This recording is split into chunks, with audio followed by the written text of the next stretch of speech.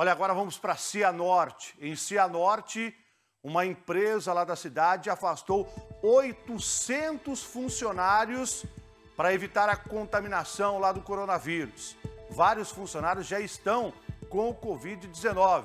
Venha ver os detalhes, quem tem informação, você, Adriana.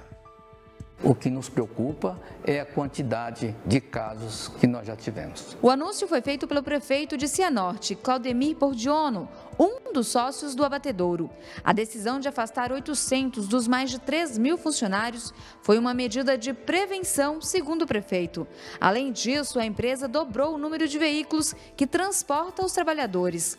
Muitos são de cidades da região, entre elas Moreira Salles e Tuneiras do Oeste. Até agora, 93 empregados do frigorífico foram contaminados por coronavírus. Nós hoje temos muito caso muito caso na Avenorte também.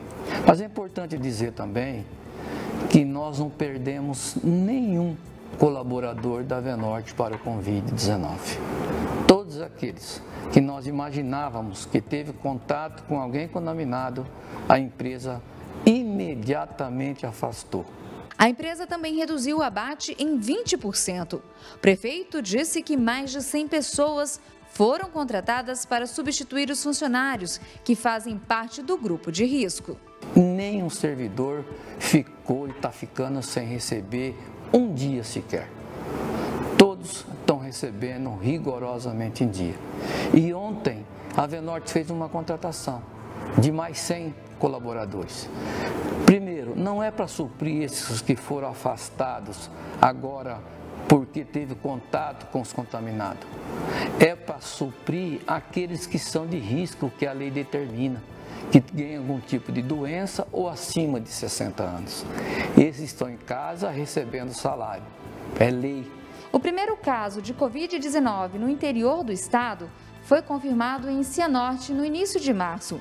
A cidade, com um pouco mais de 80 mil habitantes, tem hoje, segundo o último boletim da Secretaria de Saúde, 90 pessoas infectadas por coronavírus e duas mortes registradas. Ainda assim, o prefeito afirma que a situação está controlada e que o município tem condições de manter o atendimento, mesmo que o número de contaminados continue aumentando.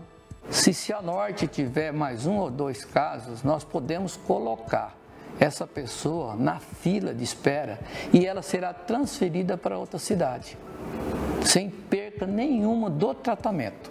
Porque o Paraná está hoje com menos de 50% de todos os leitos que foram separados com Covid-19 disponível. Eu sei que a Inverno Norte está fazendo o que pode, os colaboradores estão fazendo o que pode, a saúde nossa está fazendo o que pode. 90% dos cianortenses estão fazendo o que pode. Então, gente, vamos ter calma, não apavore, não fique doente, não sofra antecipadamente.